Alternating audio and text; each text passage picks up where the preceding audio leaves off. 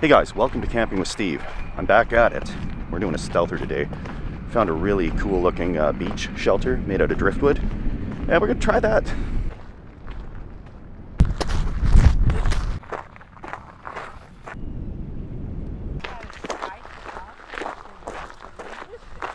The shelter's behind me over there, but there's a lot of people here. I'm gonna tuck my backpack off in the woods so it doesn't look so obvious. I can tuck it right in here. I'm gonna upgrade to a camo or a green backpack. Probably should have done that years ago.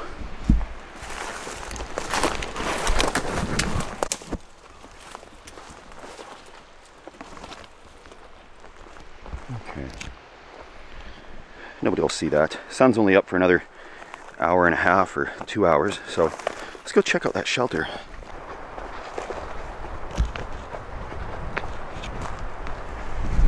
Outhouse. Look at that.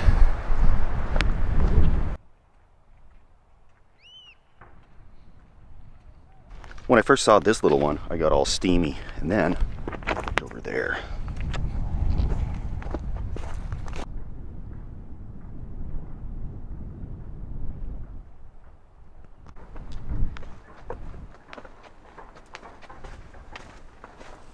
Oh yeah. This is gonna do great. There's enough room in here to stay out of the wind. If it starts to rain, I have a tarp I can hang up in here and got a pretty good view out through the slats. And this is a hiking trail. It's very regularly used, but I don't think so much in the dark. And there are homes all around the bay in the harbor here. Uh, so there's no fires, of course, and we've got to keep the flashlights low, but we can manage. This is all right.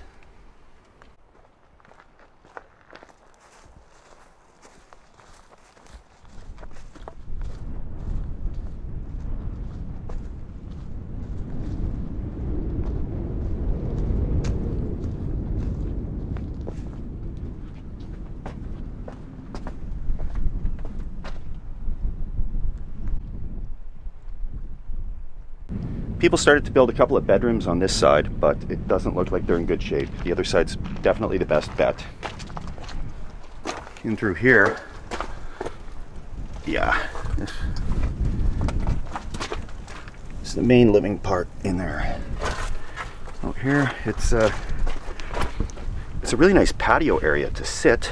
Um, this is going to be great.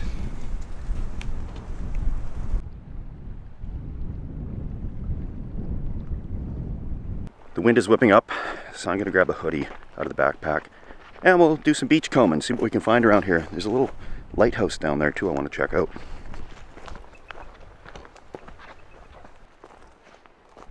Definitely a good spot to tuck the bag away.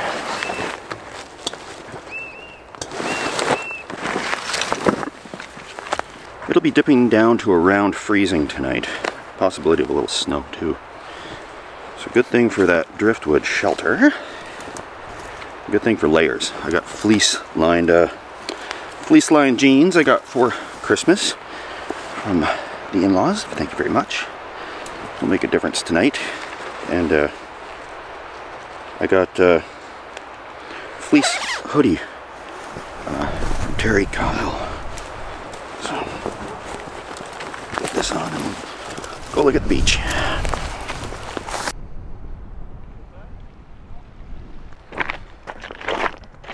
Hope I find a big chunk of ambergris. That'd be good.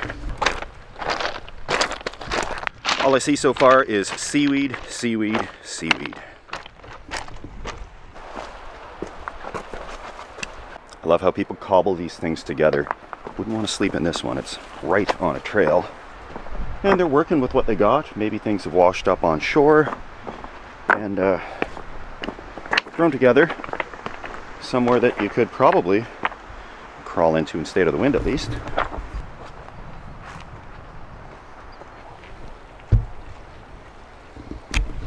The objective's over there, keeping a close eye on it, but not too close. Anybody lingering around there for an extended period at this time of day is very likely to be camping in there. How could you not want to do that? I'm sure I'm not the first.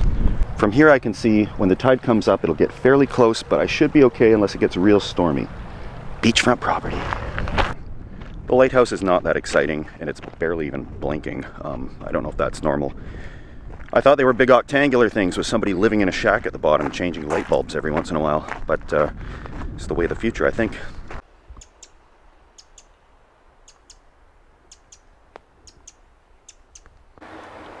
I'm laying low in the woods here away from the trails for the next 40 minutes. Uh, it should be getting dark by then, and I can start hauling some gear over. I don't know how many people are going to be walking their dogs at night with flashlights, but it's a possibility because the sun does set at, you know, quarter after five. So people aren't even really off work and home by then. But we'll see what happens and we'll just go with the flow.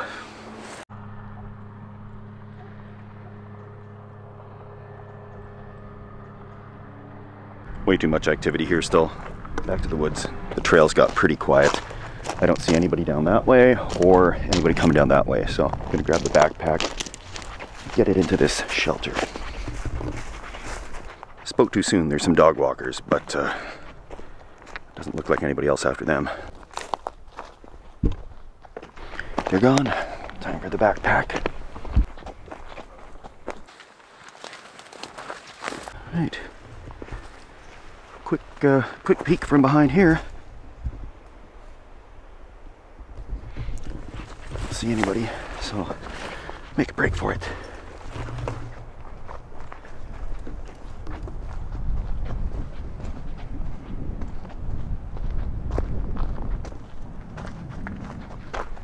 Okay. All right. It's now we're in the dark.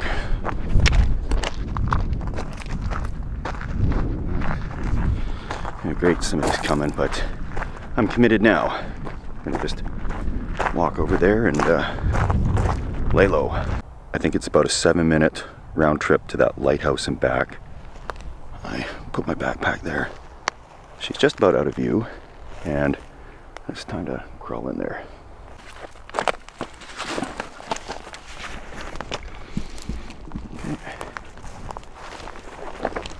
Here we go. The moment of truth. Now the other dog walkers are on their way back. She's still on the way out there. So I'm gonna hide on this side, the shelter.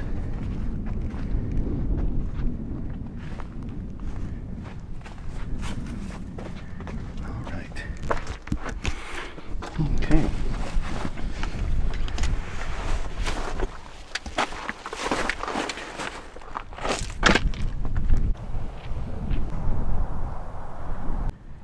It's really nice to have a bit of a windbreak. That makes it feel warmer right away.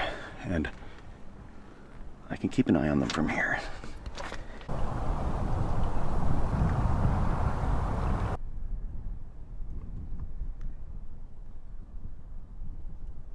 Two down and one to go, and then I'll crawl over to the other side. Actually, if I... Okay.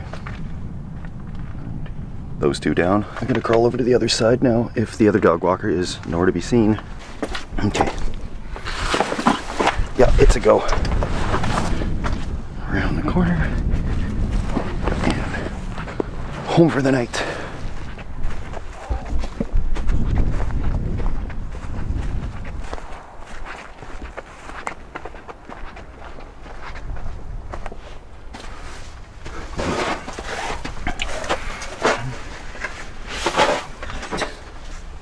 Perfect hideout. I can see things around through all these little cracks. Of course, there's people coming right for this place, so I'm a photographer. That's the story. That's always the story. Oh, hey. Hey. great photos out here. Oh yeah, it looks great. Yeah.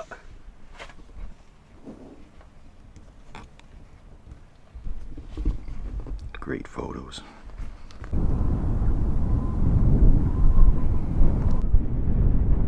Well, I got a little eager. A lot more people on the trails. And uh, I find when I break out the full uh, tripod setup, uh, that looks more legitimate and they give me some space. So that's what I got here is the whole big stand. Tricks of the trade. Pretty much dark out there. So gonna start getting things out of the bag.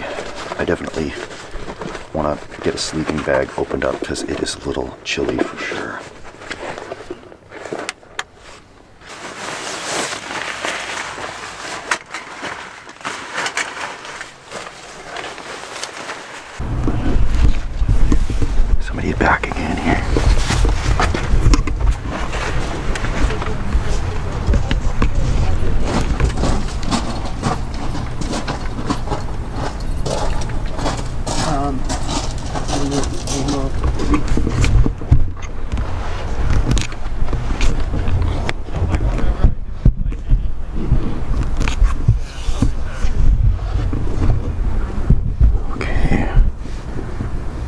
just walked right by on the other side.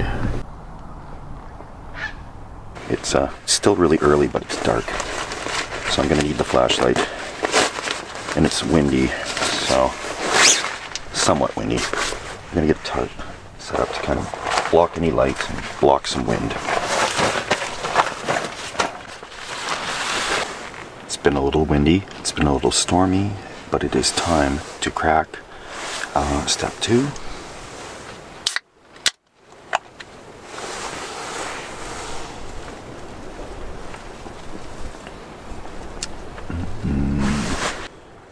Aside from the wind, uh, the biggest problems I'm going to face tonight are the tide, because it looks like there's a bunch of seaweed stuff all over the place, and this stuff doesn't fly, it gets here on the water.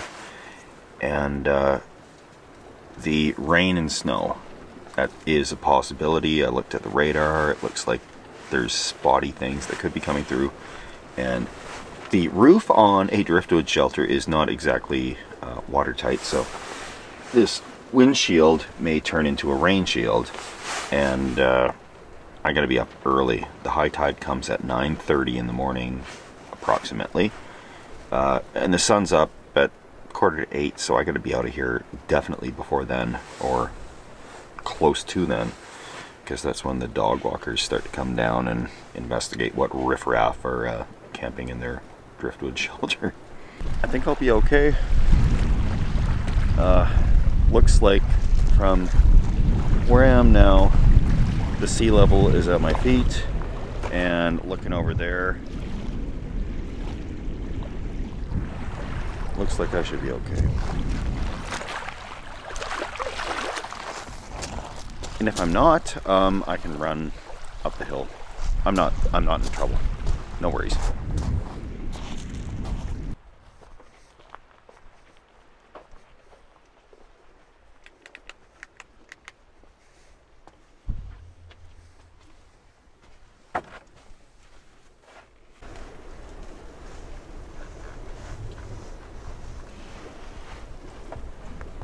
Brought everything but the kitchen sink today. We're making steamed hams.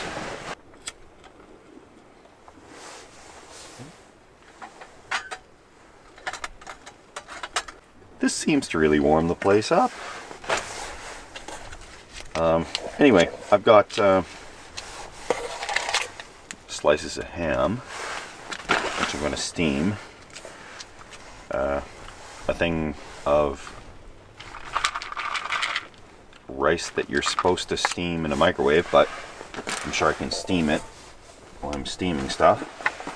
And speaking of steaming, um, Green Giant uh, simply steam uh, Brussels sprouts. So in an unusual meal, I'm going to steam these things. Um, old family recipe for steamed hams. There we go. Easy peasy. Gonna work great. Uh, they're designed to be boiled in water, so I'm sure they can be steamed.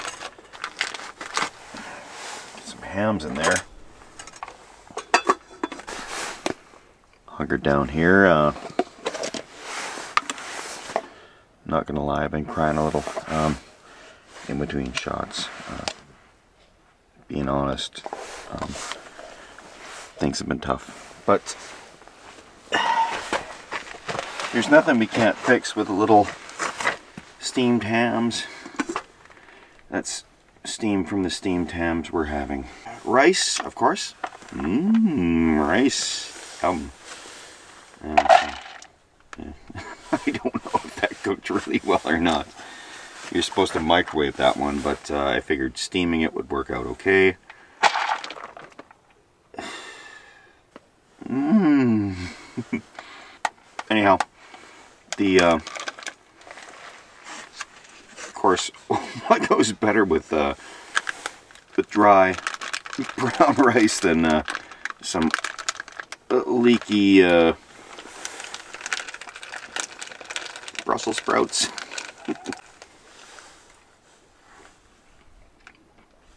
those are good. And of course the star of the show being these steamed hams here. My time frame is I got to be out of here uh, when the sun comes up, which is 7:45, and right now it's probably about 11 when people stop coming around. So I'm eating late as I always do. We all know that, but I don't get to sleep in.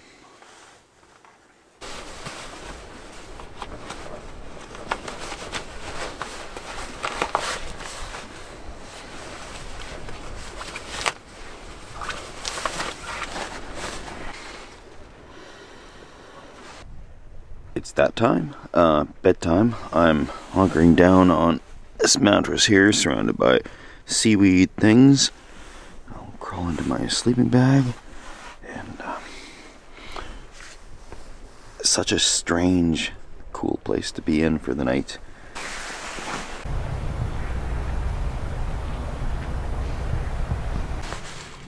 Good morning, short and sweet sleep there's people on the trail, so I got to get out of here uh, real quick. It's not even eight o'clock yet, about 7:45, but time to time to tear things down.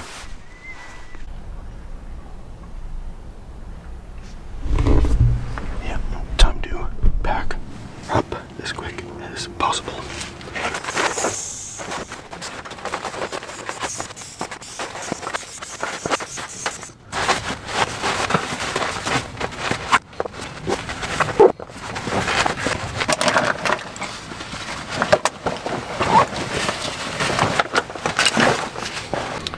Well, things are mostly uh, mostly cleaned up, um, packed up.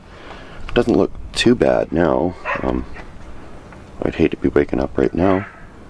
There's way too many people out there. Okay, uh, time to do a final sweep of the area and um,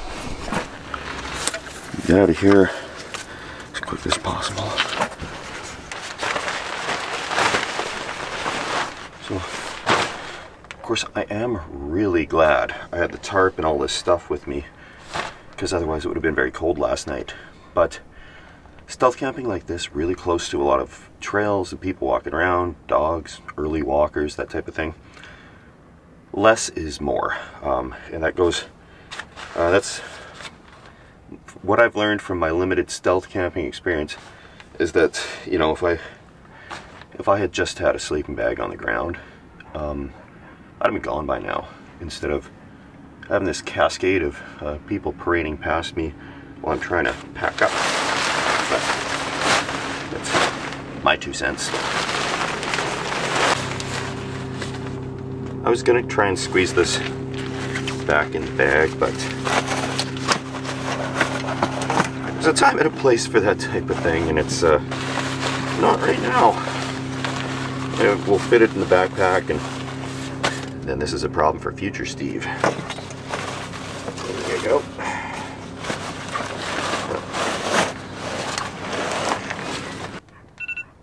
That was the alarm I had set to get out of here before it was full of people.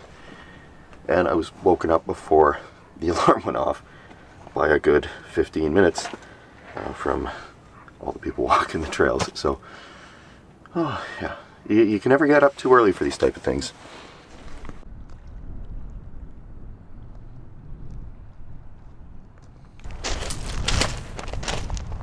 Tide is up. Um, it reaches its peak about an hour from now.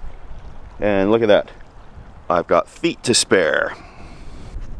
A couple on the trail there, and I'm sure they're people from last night that are back here again this morning when I was out pretending to be a photographer. Okay, um, looks whatever.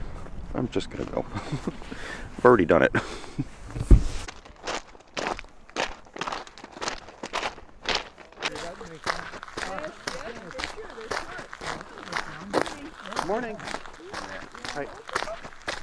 That all down the trail. Um, meters from where I was slept. okay, that doesn't look safe.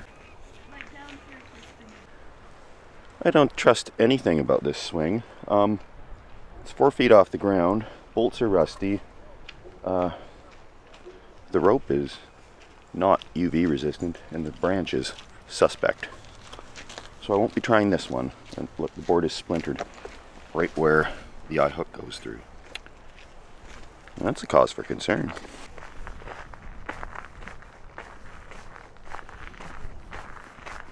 My conclusion is there's not much good to find on the beach unless you've got a metal detector and a lot of time. Uh, it's mostly just seaweed and garbage um, and, and a good view. So, uh, wow, good view over there too.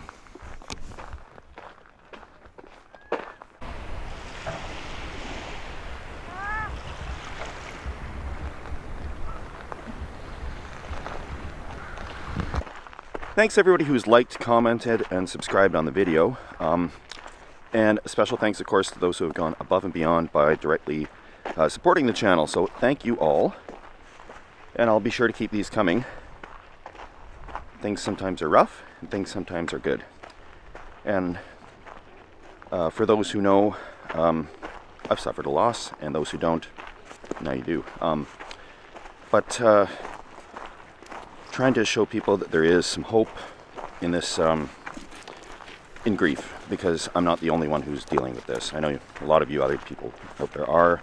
Of course, more every day, unfortunately. So, um, it gets easier, but you can't tell which days are going to be good, which are going to be bad. But overall, things are improving. Um, and I don't want you guys to worry about me. I needed definitely a break after Christmas. That was a bit tough, but good to be back out doing what I do. Hiking where I hike and camping where I camp. Thank you all so much for your continued patience with me and following along, subscribing, and just being such a good community, good group of people. Um, it's uh, friends have been made in the comment section. You guys are just fantastic group of people. So until next time, I gotta bid you adieu. And hitting the road a few more potential spots and I've I haven't filmed anything in a couple of weeks uh, until now but the uh, the time wasn't wasted. A lot of driving thinking and searching for spots so I got a good list. And uh, let's all explore that together. Cheers guys